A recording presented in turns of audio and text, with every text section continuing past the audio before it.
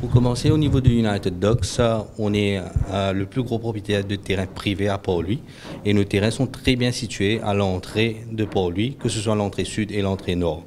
Maintenant, on s'est dit éventuellement, il faut capitaliser sur le fait que les terrains sont stratégiquement situés.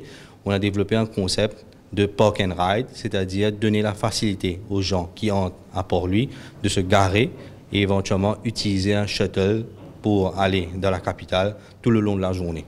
Alors, ce service, on l'a lancé l'année dernière. On a commencé avec beaucoup de travaux d'infrastructure.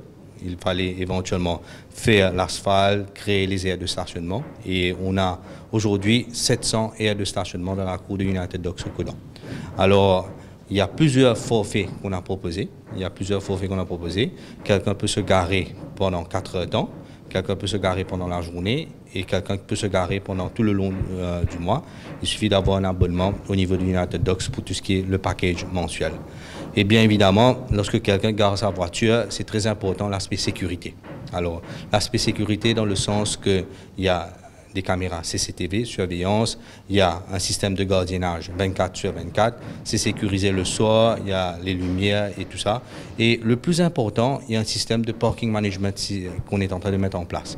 Et le parking management va éventuellement reconnaître tous les utilisateurs réguliers. Il y a les boom gates qui vont s'ouvrir automatiquement à travers un système de scan des euh, plaques de numéros à l'entrée.